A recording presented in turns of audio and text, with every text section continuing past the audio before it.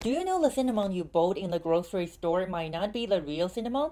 And what is cinnamon anyway? Well, you might think cinnamon is cinnamon, the things you put in cinnamon rolls and apple pie, right? As it turns out, it's not that straightforward. So today we will dive deeper into the question of what cinnamon actually is with PAA. Query. Today's query is Saigon cinnamon, Ceylon cinnamon, and regular cinnamon. What are the differences?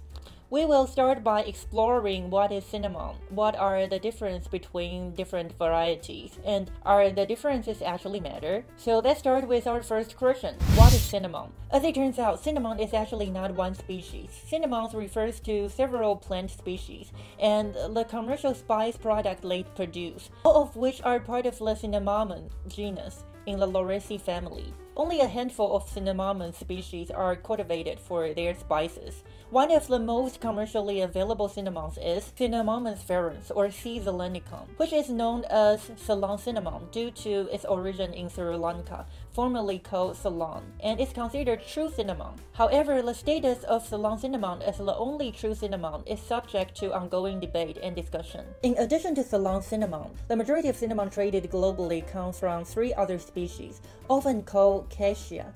This kind of cinnamon includes one Cinnamomum burmannii, aka Indonesian cinnamon or Padang cassia, two Cinnamomum cassia, aka Chinese cinnamon or Chinese cassia, three Cinnamomum floriroides, aka Saigon cinnamon or Vietnamese cassia. According to an article titled Cinnamon Market Size and Share Analysis, Growth Trend and Forecast, published by MordorIntelligence.com, which is a market research and consulting firm providing insight and analysis on various industries and the market worldwide. In 2018, Indonesia and China were responsible for 70% of the world's cinnamon production, with Indonesia contributing nearly 40% and China 30%. In the grocery store, specialty store, and online, cinnamon usually labeled as one of the following: Saigon cinnamon, cinnamon, aka regular cinnamon, and Ceylon cinnamon. But what are the differences between them, and how do you know which is which? So what is the difference between Saigon cinnamon, regular cinnamon, and Ceylon cinnamon?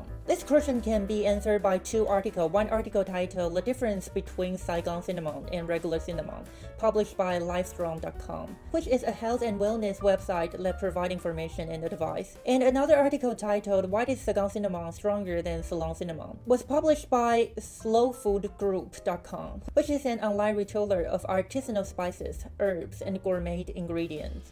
According to these two sources, the differences between Saigon cinnamon, regular cinnamon, and Ceylon cinnamon lies in their origin, flavor, and chemical composition. Within them, the only true cinnamon variety is Ceylon cinnamon, sources from Cinnamomum verum tree. It is made from inner bark of the tree, which naturally rolls into stick or quills as it dries. Sri Lanka remains the principal supplier of true cinnamon bark and its leaf oils.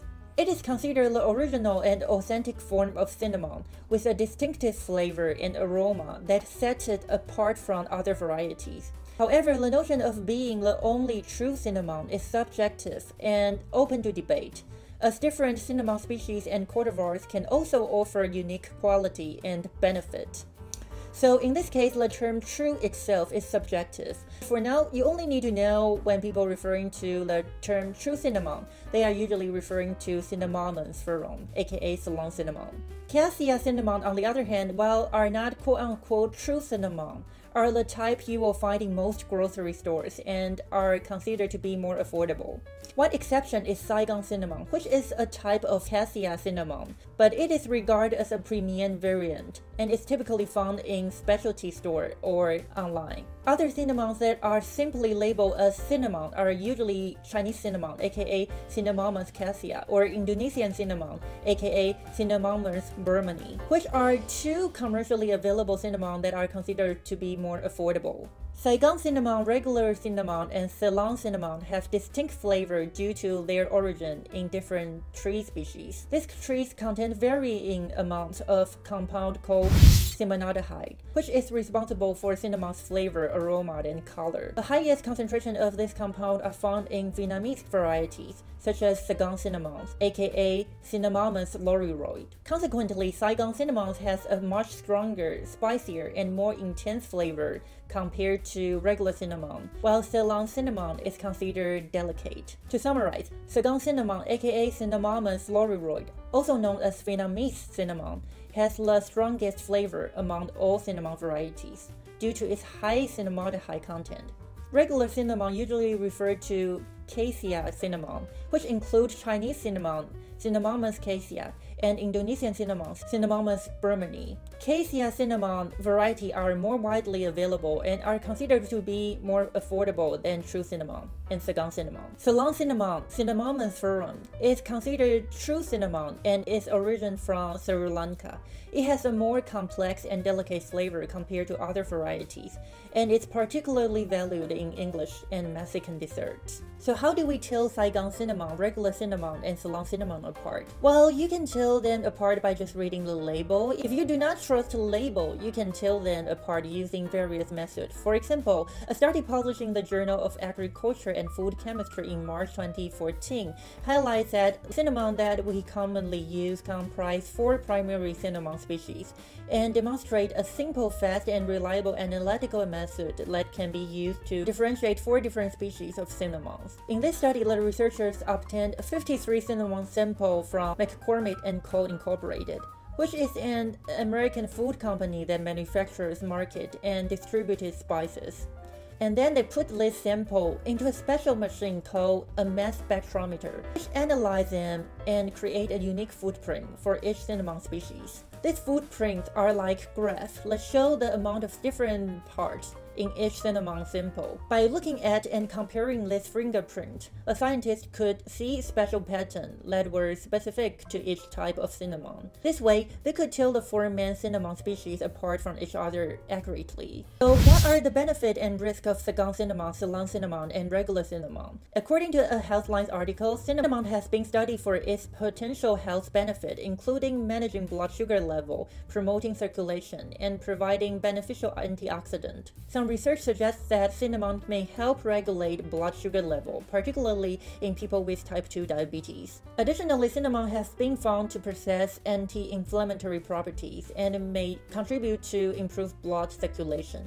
However, more research is needed to fully understand the extent of this benefit, and individual response may vary. It is important to consult a healthcare professional before using cinnamon as a supplement or making significant dietary changes. In addition, too much cinnamon may cause health problems due to the presence of coumarin, a toxic compound found naturally in several plants, including cinnamon trees. Coumarin gives cinnamon its aroma, but excessive amount can lead to liver damage. So, how how much cinnamon is safe to eat. According to the European Food Safety Authority, a tolerable daily intake of coumarin is 0.05 mg per pound, 0.1 mg per kilogram of body weight. For Saigon cinnamon, this equates to about 1 teaspoon, 2.5 grams daily. Consuming cinnamon within this limit is considered safe. It is important to be cautious with intake due to the potential risk associated with high coumarin levels. The coumarin levels differ significantly between Saigon cinnamon, regular cinnamon, and Ceylon cinnamon. A study published in the National Library of Medicine titled Cassia cinnamon as a source of coumarin in cinnamon flavored food and food supplement in United States found that only trace amount of coumarin in Ceylon cinnamon, while cassia bark contains substantial level. Therefore, Ceylon cinnamon is considered to be safer variety. Finally, I want to spend a little bit more time talking about the lesser known Saigon cinnamon. So, what is Saigon cinnamon? The question is answered by Wikipedia Saigon cinnamon entry and another article titled What is Vietnamese Saigon cinnamon published by whiteonricecouple.com.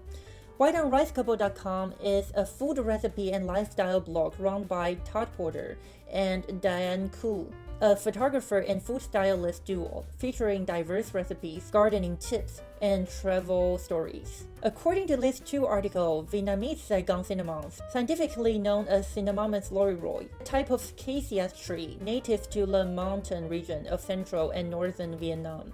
Among cinnamon varieties, Vietnamese cinnamon is considered to be the most aromatic due to its high concentration of essential oil which account for its intense sweet and spicy flavor. Harvesting process for Vietnamese cinnamon is typically take place during the summer months, when the oil content is at its peak. Once harvested, the bark is stripped and allowed to dry, which causes it to curl into long curled strips measuring about 12 inch to 16 inch in length. These stripes are the most authentic form of Vietnamese cinnamon and are highly sought after by culinary experts. Vietnamese Saigon cinnamon is often used in small quantity to enhance the flavor of various dishes, ranging from baked good to stew to soup stocks. Its rich, sweet, and robustly spicy taste is often likened to red hot candy, setting it apart from other cinnamon variety that may be more subtle sweet or even lack sweetness altogether. Due to the high demand for this spice, it's not uncommon for merchants to mix in or add other inferior cinnamon variety to Vietnamese cinnamon. It is important to taste the cinnamon before purchasing to ensure you are getting the authentic product. The real deal should have an intense sweet and spicy flavor, reminiscent of red hot candy. Vietnamese cinnamon is available in various forms, including whole bark, sheets, broken bark pieces, and powder. Each form has its own use in culinary application, but it's essential to be cautious when using Vietnamese cinnamon due to its potency. When cooking with it, start with a small amount and adjust according to taste, as its high essential oil content can easily overpower a dish with cinnamon flavors. Saigon cinnamon, although a popular marketing term, is somewhat misleading as it is not produced around Ho Chi Minh City, formerly known as Saigon. Instead, it is cultivated in the central highland of Vietnam, particularly in the Quang Nam province. So can you use Saigon cinnamon for baking? This question can be answered by an article titled What You Should Know Before Using Saigon Cinnamon, published by Mashed.com, which is a website that provides food-related content, including recipe cooking tips, kitchen hacks, and insight into popular food brand and trends. So according to this article, yes, you can use Saigon cinnamon for baking. Although it has a more intense and papery flavor compared to Ceylon cinnamon, it can still add a unique earthy and spicy sweetness to your baked goods. Saigon cinnamon's strong flavor comes from a higher concentration of cinnamaldehyde in its essential oil. However, be mindful of its higher coumarin content, which can be toxic if consumed in large amount. Here are some cooking tips and advice for using Saigon cinnamon in baking. 1. Start with a small amount. Since Saigon cinnamon has a stronger flavor than Ceylon cinnamon and regular cinnamon, begin by using a smaller quantity than you would with Ceylon cinnamon and regular cinnamon. You can always add more if needed, but it's difficult to reverse the intensity once added. 2. Taste and adjust. As you are preparing your recipe, taste your batter or dough and adjust the cinnamon quantity as needed. This will help you achieve the desired flavor without overwhelming the other ingredients in your dish. 3. Pair with complementary flavor.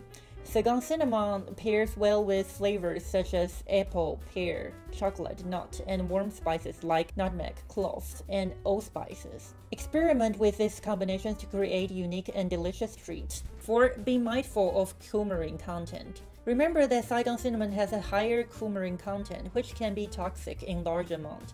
Limit your daily consumption to no more than 1 teaspoon per day. 5. Use in both sweet and savory dishes. While Saigon cinnamon is a popular addition to sweet-like cookie pies and cakes, it can also be used in savory dishes. Try using it in marinade, rubs, or as a spice in curry's recipe for a surprising twist. 6 stored properly. To maintain the freshness and potency of Saigon cinnamon, store it in an airtight container away from heat, light, and moisture. It will help preserve its flavor and extend its shelf life. Following these tips, you can make the most of Saigon cinnamon unique flavor profile, enhancing the taste of your baked good, while also enjoying its potential health benefit. But wait, do different cinnamon actually taste different when used in baking? How much is the difference? So, do different cinnamon actually taste different when using baking? According to an article titled True Cinnamon is Pricey, but is there any honest difference? Published on Chicago Tribune. Yes, different types of cinnamon can taste different, with some subtlety in their flavors. However, the differences are usually subtle and may not be uh, discernible, especially when using baking or cooking. The two most common type of cinnamon are Ceylon cinnamon, often referred to true cinnamon, and cassia cinnamon. While some people may argue that Ceylon cinnamon has more sophisticated, subtle flavor, blind tasting have suggested that most people cannot tell the differences. The main flavor component in cinnamon comes from a group of essential oil, which can vary slightly between different spices of the Cinnamomus genus. However, as mentioned, these differences are typically so minor that they won't significantly impact the flavor of your baked good. During a taste test conducted by Washington Post Food, different cinnamon types were tested, including dollar store cinnamon and more expensive variants. The results were inconclusive, with both cheap and pricier cinnamons have fans and detractors. The overall savory was a supermarket standard, suggesting that price and supposed quality do not always correlate with preference. In the end, most tasters found that the cinnamon tasted different when tasted in simple syrup. The differences were harder to discern when the cinnamon was used in cinnamon toast. This suggests that the differences in flavor between different types of cinnamon become even less noticeable when used in baking or cooking. As such, it's often more practical to choose your cinnamon based on price rather than subtlety of flavors, unless you are using it in a context where its distinct flavor will be highlighted. If you made it to the end of the video, chances are that you enjoy learning what people also ask on Google, but let's face it, reading PAA yourself will be a pain. So here's the deal, I will do the reading for you and upload a video compiling some fun PAA once a week. All you have to do is to hit the subscribe button and the, and the bell icon, so you won't miss any PAA reports that I compile. So just do it right now. Bye!